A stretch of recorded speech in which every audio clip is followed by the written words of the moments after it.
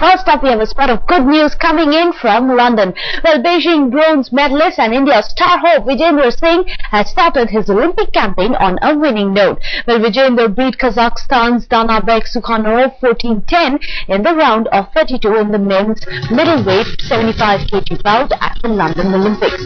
Well, the Indian dressed in red showed no signs of nerves, considering the fact that the match could have been his last bout for India in the Olympics. The Irani boxer fought with impeccable skills to down Suzhanov by four in the first round.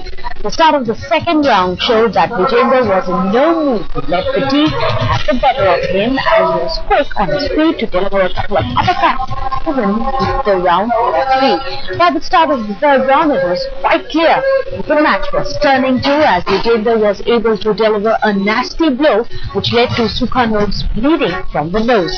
Vijender won the round 5-3 to adjourn the proceedings with a 14-10 overall score. Vijender will now be facing Terrell Gausha of the United States of America.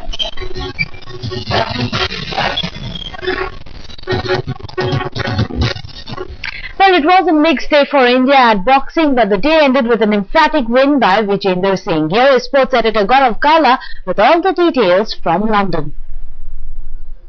There are big hopes from the boxing contingent at London 2012. And today, the first full day of competition at the 30th Olympic Games saw two Indian boxers in action. Young Shiva Thapa, the 18-year-old, he started off India's boxing campaign, but unfortunately, he could not measure up to his Mexican opponent, who won the bout fairly comfortably. After that, all action shifted to Vijender Singh. He's the standout performer in this Indian boxing squad and he was facing a tough opponent from Kazakhstan. In the end, what we saw from Vijender was a masterclass. He showed what he's all about. This is his third Olympic Games and he came out in flying colors. The first round was a classic Vijender round. He took the lead and then he hung on to that lead. He won the first round 5-4. The second round was very, very crucial and always is in any boxing encounter at the amateur level when you only have three rounds to play with.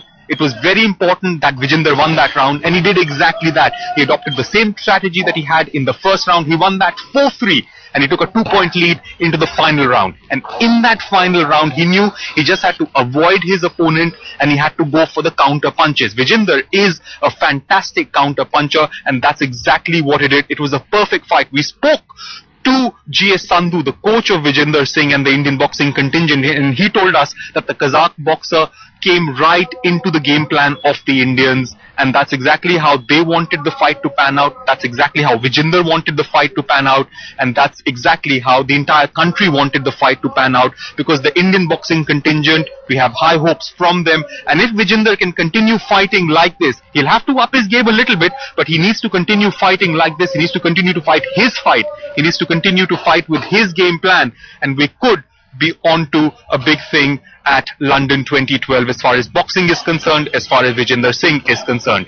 With camera person Subodh Saxena, I'm Gaurav Kalra at ExCeL, the boxing venue for headlines today.